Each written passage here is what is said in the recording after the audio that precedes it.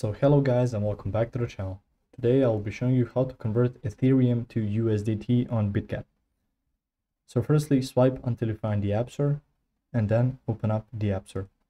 From here you will see some sections underneath. So you will see Today, Games, Apps, Arcade and Search button.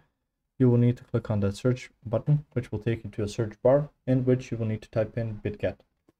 Once you've typed in BitGet, it will take you to the first option, which will be BitGet buy Bitcoin and crypto. And underneath, you will see BitGet Wallet or BitKeep. Once you click on BitGet buy Bitcoin and crypto, you can go ahead and exit the App Store.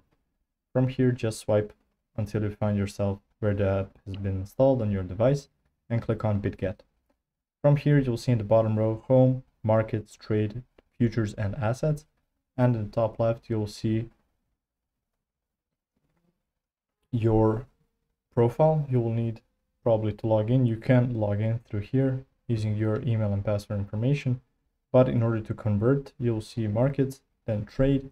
You'll see copy spot margin convert and bots. Click on convert.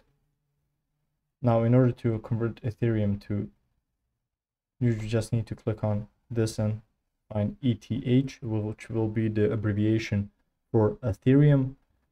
And in order to put in USDT it's already put in but you can just go ahead and click on this and check on USDT and you will see what's the ratio between those two so you can actually check it right there if you found this information helpful or useful you can like the video you can also share the video you can subscribe to our channel and click the notification bell to get notified about new videos on BitGet or some other topics you might find interesting as well Thank you very much for watching this video. And as always, I will see you in the next one. Goodbye.